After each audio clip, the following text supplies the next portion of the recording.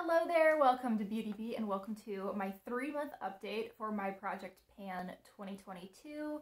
This is a 22 in 2022, say that five times fast, project. So I have 22 products that I am working on. I've actually already hit my goal on two products. One I did last month and one was this month.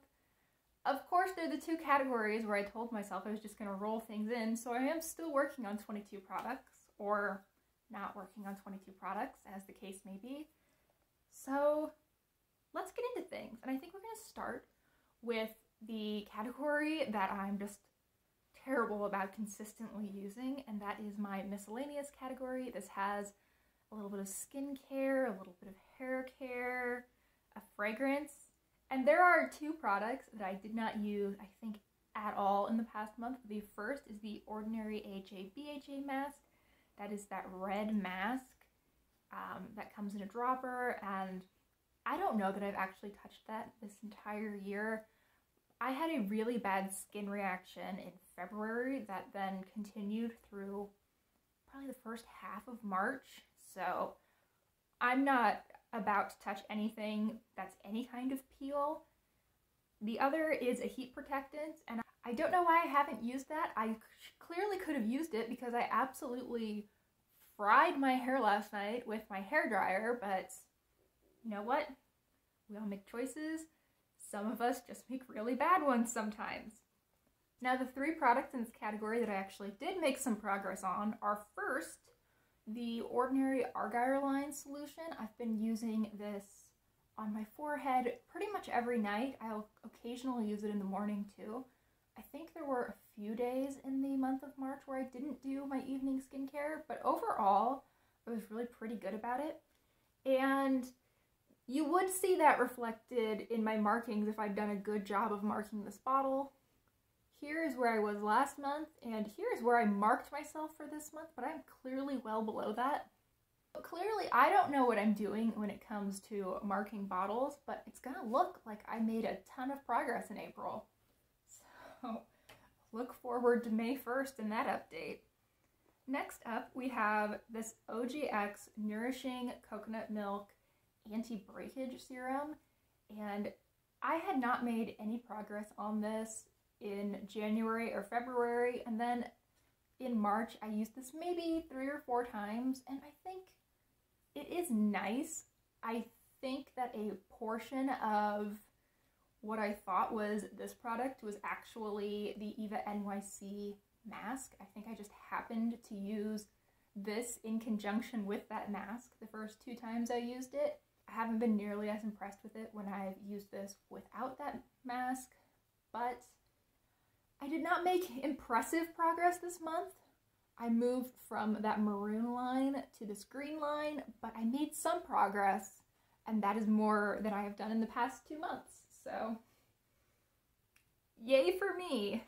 And then finally, we have the perfume that I'm working on this year. This is the Oscar de la Renta Bella Blanca. This is a 50 ml size, and oops, wrong side. At the beginning of the project, it was up here. I think I also stayed there the following month. Last month, I was down here, and now I am all the way down to here. And I almost wonder if this bottle is deceptively large because when I shake this, let me see if I can put it up to my mic. It really does not sound like there's a whole lot of product in here.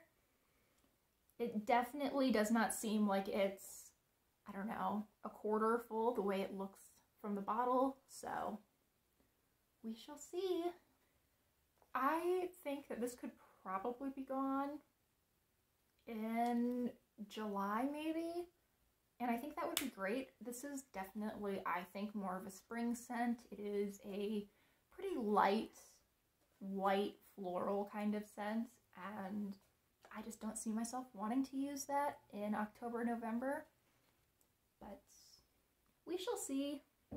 That really goes for all of these products. I don't have a good sense of how long it will take me to use things up, and case in point, let's move to face products and this liquid highlighter that I have so many questions about. This is from Wet n Wild. This is their Mega Glow Hello Halo liquid highlighter in the shade Halo Graphic. I'm wearing it today. It's what's giving me this purple glow. It is really pretty. I marked it here, but I can't see it now, but when I was using it today, I really thought that I saw a fill line that was just beneath this black line. So I really don't know what I'm doing. I clearly don't know how to mark bottles. We've seen that twice today already, but I'm using it. I'm enjoying it. That's really the goal of this project, and we'll see how much I can use of it. I'm not that invested in actually finishing that product or even hitting the goal that I set for myself on that product. So we'll see. I'll just keep keep on keeping on with that. Next up, we have a blush. This is from Bare Minerals. It is a mini Gen Nude blush in the shade Call My Blush. My goal with this one is just to hit pan. I have another blush that we'll see in a couple of minutes that I'm trying to finish this year. And I have used this several times in the past month, including today. I was looking at my uh, Project 100 uses sheet, and I think I've used this something like 25 times this year, which I think is quite good. I mean, that's what, using it about twice a week, which I think is on track for how I want to be using this product. And there is a little bit of a dip starting to form, I do not think you will be able to see it. I'm not 100% sure that I can really see it or if I am just telling myself there's a dip forming, but yeah, this is another one. We'll just see. I really do think I'm making good progress on this though, so I hope that by the end of the year I can hit pan. That would be amazing. So I was going to make you wait a little longer, but I guess it makes sense to talk about my other blush now, right? So this is in a Physicians Formula palette, but it is actually a Wet n Wild blush that I've repressed, and it's it's the one that looks really messed up. This is the Wet n Wild Rosé Champagne blush. I just repressed it in here, and I've made really pretty good progress on it so far this year. I did not have pan when I started the year, and now I have this little crescent. Actually, two crescents of pan. They haven't quite married in the middle yet. Um, it's quite thin, really, through sort of this whole area. And then there is quite a bit more product built up along this outer perimeter, but I think I'm making good progress. I think that I should at least be able to join these two parts of the pan as well as um, expand along this ridge in the pan a little bit in the next month. And I really feel like I can see that inner ring. And I feel like I can sort of see that inner ring too, though. I don't know. Maybe I will have some pretty significant pan next month to show for you. I hope so. That would be great. Then I have two more face products. The first one is really exciting. This is from Tarte. This is the Park Avenue Princess Deluxe Bronzer. And I hit pan. I hit like a significant amount of pan, I think. Look at that. I think that's the most pan I've ever hit in a bronzer in my life. I'm I'm pretty stoked about it, honestly. I have been using this, I would say, two to three times a week all year. Sometimes a little more, sometimes a little less. I'm not wearing any bronzer today, but I've been putting this over my cheeks sometimes, mixing it with my blush, or I'll put it on my forehead. Um, occasionally I'll use it as a semi-contour. It's, you know, kind of warm and kind of glowy for that, but I do it anyway because I'm a rebel, I guess and it's worked. I hit pan My goal is to finish this this year, which seems kind of lofty, but you know what? I'm at the point where I've hit pan. Maybe it's not as far out of reach to finish this as I may have thought. I mean, it is really thin throughout the product. There's almost the original amount of product just here along this side, but otherwise it's I've definitely worn it down. So I'm pretty happy that I hit pan on this. I'm really excited. I don't use a lot of bronzer. I even when I do use bronzer, I don't use a lot of it. So any progress on bronzer is good progress in my book.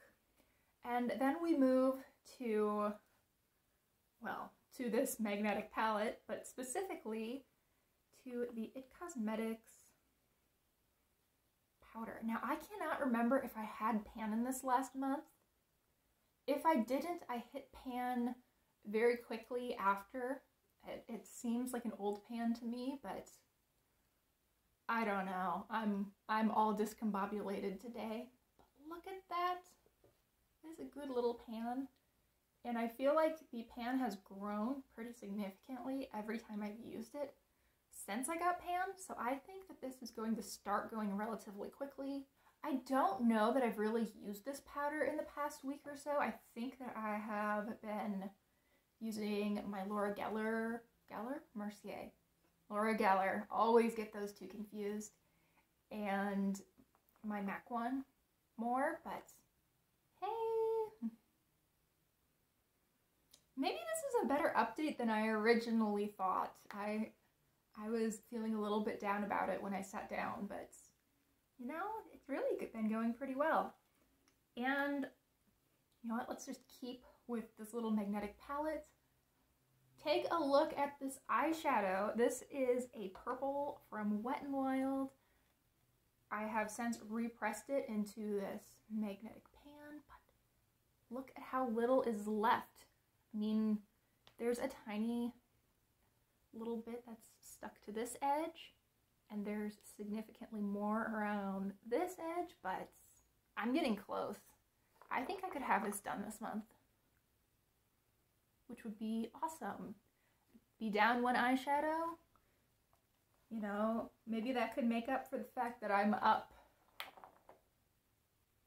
50 eyeshadows since the beginning of the year or something ridiculous like that. Anyway, I'm making good progress. I'm really happy with that. You don't need to uh, drag this video down by talking about how even though I've been project panning to try to move some things out, my collection has been growing what feels like exponentially.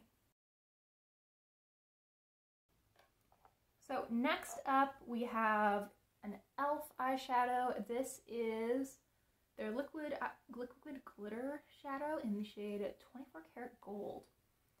And I had to take the stopper out this month because it was getting just difficult to use. I could get a nice application on one eye, but no matter how much I dug in there, it felt like I couldn't get a nice even application on, on eye number two.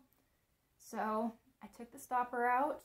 I've only used it once since I took the stopper out, and unfortunately, these dry out really quickly once you've removed the stopper. I think it's still good for now, but I think this is going to be decluttered in next month's update just because I know from experience that six weeks is kind of pushing it once you take out the stopper on these and it's been two or three since I removed the stopper for this one. So kind of a bummer that it won't get used up, but I have gotten some use on it. I'd used enough that I couldn't get a nice amount of product out without removing the stopper, so yeah. Mixed feelings on that one. Let's move next to my Maybelline City Mini palette. This is in Matte About Town, and I am working on the pink and the white. I tend to use this pink one to blend out my crease or as a transition shade. I guess those are really the same thing, aren't they? Um, or I'll just use it as a really soft crease color. The white I generally use to set my eyeshadow primer. Sometimes I will use it on my brow bone as a highlight, but I feel like it's a little bit on the powdery side for that, and I often prefer something that just has a little bit of sheen to it in that area. Anyway, I think I'm making good progress on this. This kind of looks like a, like a face of dismay right now, but that'll probably change as I continue to use these products, though he's kind of adorable. Anyway, moving on to the last eyeshadow piece that we have to talk about. This is my NYX Ultimate Utopia shadow palette. I worked on this a lot in last year's Project Pan, but this year I only have two goals with this project product. First is to hit pan in this purple, and there is a little bit of a dip going, not a whole lot. Unfortunately, I keep pulling in pan those eyeshadow shades that look so much like this.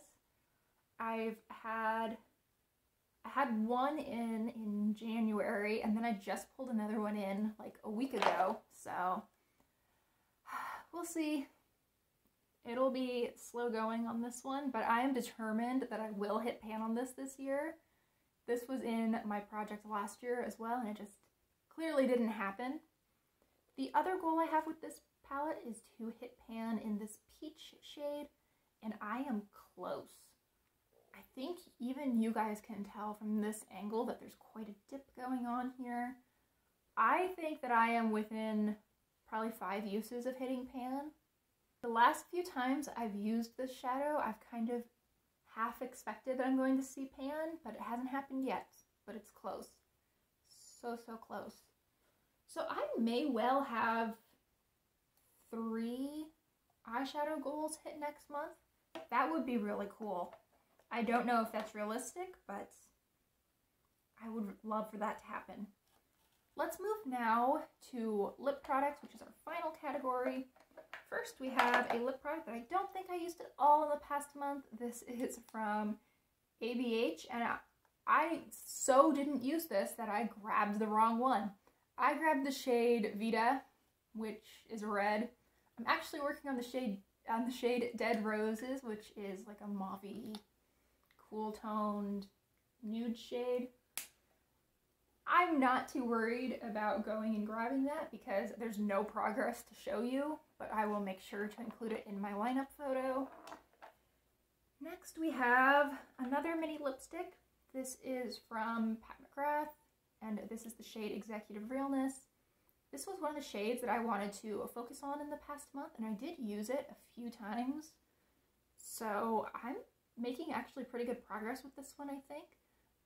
I think that this one I am going to again focus on in the month of April because this is just the kind of shade that I've been wanting to wear recently. It's not what I'm wearing today, but I feel like I could have gotten quite a similar effect from this lipstick, and I've been wanting this kind of effect three days a week recently. So that one I think I will make some good progress on. Next, let's talk about what I actually am wearing today. This is Sassy Mauve from Revlon. I've mixed it with another Revlon shade, which is Cherries in the Snow. But this is what's toning down that bright pinky red of Cherries in the Snow quite a bit. It is a pretty shade. Realized that I hadn't rolled it quite all the way up, but I've used this, I would say, three or four times in the past month, which I think if I can keep that up, I will probably finish it by the end of the year.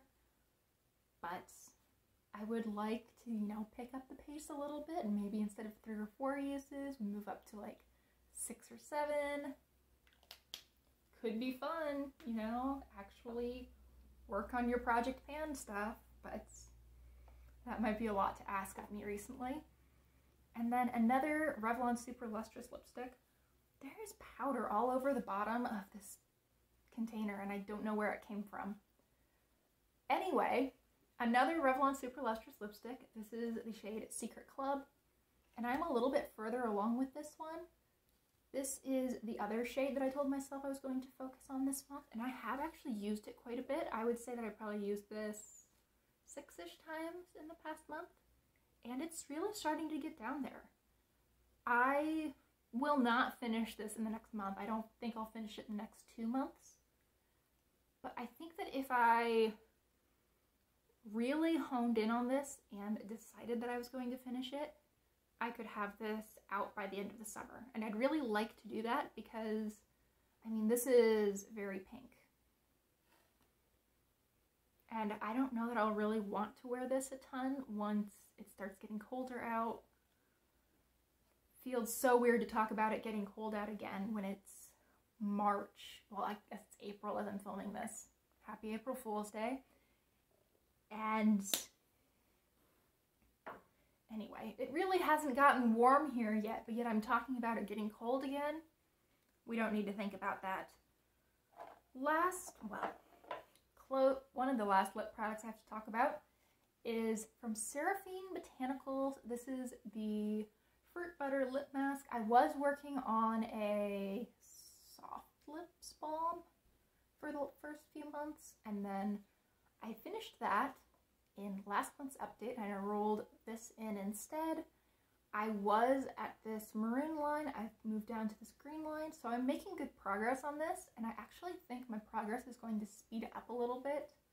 I finished off two products that I was basically using as lip balm in the past month, and I feel like I was only maybe using this a third, maybe half as often as I would have otherwise, so you know, I think I can make some pretty decent progress in the next month.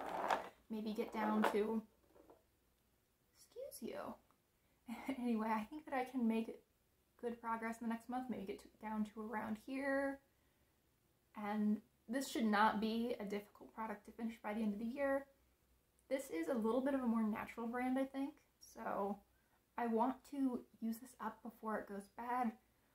This says 12 months, and I think we are quickly coming up on 12 months, so it'd be nice to get this out. I don't always pay attention to those dates, but you know, I at least like to use them as a goalpost. And then the most exciting product in this entire update is from NARS. This is the Afterglow Oil Infused Lip Tint. I have mine in the shade Primal Instinct. I also have two other shades, which is why I decided to roll this in because A, they aren't really that different, and B, do I really need three of the same product? Debatable. But anyway, my goal was to finish this. Here is where I was at the beginning of the year. Here was the February update. This was the March update, and now it's gone. It really looks like there's some product at the bottom, but I can't get it out, so there's no product as far as I'm concerned. I really enjoy this product. I find it to be super moisturizing. It's just pleasant to wear. It's actually moisturizing enough that it's one of the products that was distracting me from this fruit butter lip mask, but it's gone now. This is one of the two categories that I told myself I would just roll in new products as I was going. So I decided I would bring in another lip balm, or sorry, I would bring in another lip gloss. And the one I have decided on is from Kiko. This is their Pop Revolution lip gloss. This does not have a shade name, but this is shade 5. And this does have quite a bit of color. I think I said that I was going to aim for nude or sheer glosses. This is orange. It has glitter, so you know. So nude, so sheer. But there's what it looks like. I just figured that this is actually quite comfortable. It can be sheared out a lot more than it is right there. And this was on clearance when I purchased it. So I don't know how old this actual tube is. I've had mine for about a year. And this is just very much a summer shade for me. If I'm going to use this up, it's going to happen during the summer. So I thought I would give this a go. I have actually used a decent amount of this. This was full all the way to the top, I think, and now I'm hanging out right around this green line, so I've used up this silver tube's worth, but I have a lot left. But I am working on a coral lipstick in another project. Yes, I'm only trying to get 10 uses on that, but I think that between you trying to get that out this spring and then through the summer, I think this is not an unreasonable goal. Famous last words, eh?